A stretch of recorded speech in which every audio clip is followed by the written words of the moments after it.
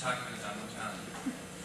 Ich glaube, diese Seite hat einiges nicht richtig verstanden. Hier wurde gerade erzählt, die Bundeswehr wird ein Söldnerheer, die für wirtschaftliche Interessen in irgendwelchen anderen Ländern die Ressourcen sichert.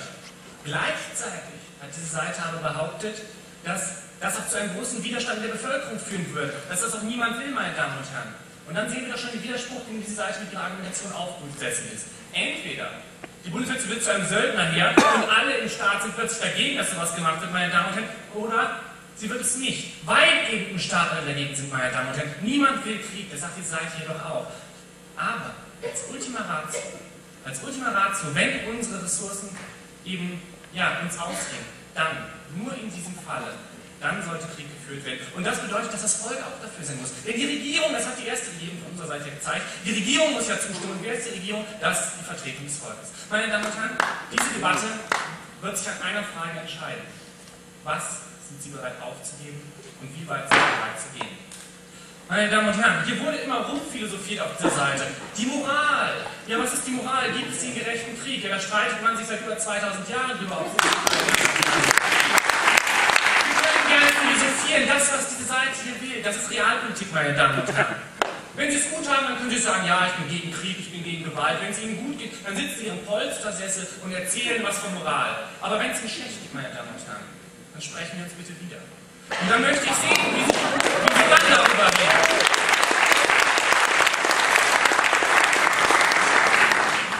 Die Seite hat gesagt, wenn Deutschland wirklich unter Druck, nein, nein, das ist nicht schlecht Wenn Deutschland wirklich unter Druck gerät, wenn unsere Existenz hier gefährdet wird, wenn jemand einen Angriff auf unser Land durchführt, einen Art wirtschaftlichen Angriff, wenn wir wirklich Schaden nehmen, dann, dann sagen wir, dann hat die Regierung die Möglichkeit, den Krieg zu erklären. Jetzt hat er mir erzählt, ja, einzelne Unternehmen werden doch äh, auf, die, und, äh, auf die Regierung Einfluss erleben und dann werden wir plötzlich überall Krieg führen. Ja, wenn das so ist, dann wäre auch dein Kostenargument richtig gewesen. Aber der Fall, der hier dargestellt wurde, meine Damen und Herren, das ist doch der Fall, wo wir alle betroffen sind. Wo der Staat als Ganzes betroffen ist. Nein, danke. Wo wir abgeschnitten werden, meine Damen und Herren. Stellen wir uns das einfach mal vor. Jetzt wird der Ölhahn abgeschnitten. Ja, da sagt dann diese Seite hier, ja, dann können wir halt kein Auto mehr fahren. Nein, das reicht nicht. Dann können wir nicht nur kein Auto mehr fahren und, und unsere eigenen angebauten Kartoffeln essen. Und Herren, der gesamte Transport in Deutschland wird zusammenbrechen. Wenn Sie nicht zufälligerweise bei einem Bauernhof, einer Mühle und einem Bäcker wohnen, dann ist das mit dem Brot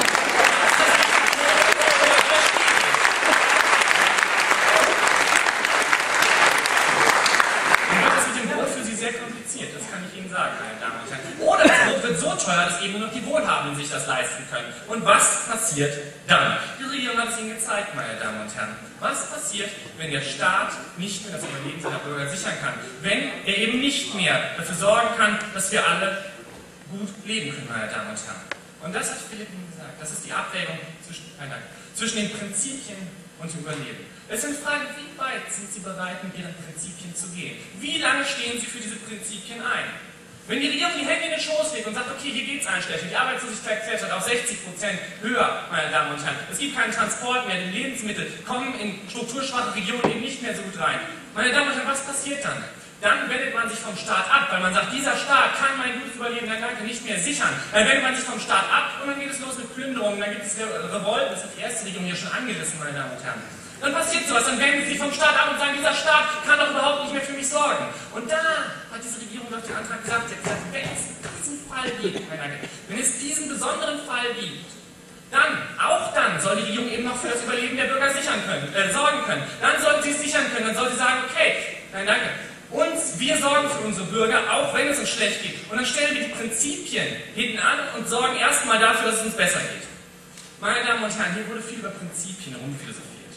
Sie kennen vielleicht Sokrates. Der hat aufgrund seiner Prinzipien einen Scheringsbecher getrunken.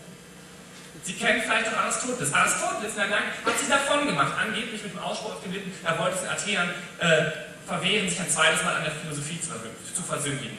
Meine Damen und Herren, sind Sie eher Aristoteles? Oder sind Sie eher Sokrates? Das ist die Frage, meine Damen und Herren. Sind Sie bereit, den Schwierigungsbecher zu trinken? Sind Sie bereit zu sagen, okay, ich verzichte auf meinen Lebensstand, ich verzichte eventuell auf mein Überleben aufgrund der Prinzipien, die diese Seite hier so hoch gehalten hat? Wenn Sie dazu bereit sind, okay. Und genau das ist die Frage, die sich die Regierung stellen muss in diesem Fall, nämlich im Fall des Krieges. Die Regierung, die ja darüber entscheidet, ob Krieg geführt wird oder nicht, muss sich die Frage stellen, sind wir bereit dazu oder nicht? Und da die Regierung ein Dank das Volk vertritt, wird sie dem Volk entsprechend handeln. Die Regierung wird genau das tun, was das Volk tut. Meine Damen und Herren. Ja, danke, Philipp. Ich komme mal kurz zu dir. Du hast nämlich Hobbes eingerissen, das war ein Eigentor. Hobbes, ich mach das mal ganz kurz. Hobbes geht vom Krieg aller gegen alle aus, wird der Staatsvertrag geschlossen. Der Staatsvertrag soll das Überleben des Einzelnen sichern, meine Damen und Herren. Und gerade Hobbes sagt auch, dass ein Krieg richtig ist, wenn man damit das Wohl des Volkes sichern kann, meine Damen und Herren. Hobbes wollte nicht den innerstaatlichen Krieg, den Bürgerkrieg verhindern und nicht den Krieg dann aus. Insofern spricht Hobbes, den du in die Debatte eingebracht hast, dir ist mir gar nicht eingefallen. Er spricht für unsere Seite, meine Damen und Herren.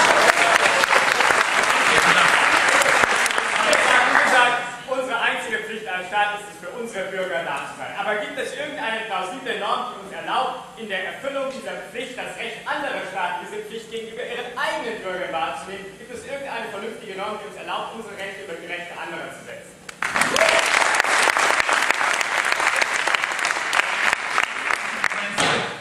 Genau. Diese Norm gibt es nicht.